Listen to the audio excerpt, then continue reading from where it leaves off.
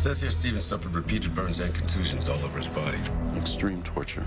Janssens found an outlet for his aggression. No obvious signs of sexual assault. Torture could be what's getting him off. That makes sense. He gets sexual gratification from inflicting psychological and physical suffering on his victims. Well, this level of violence suggests that it's personal.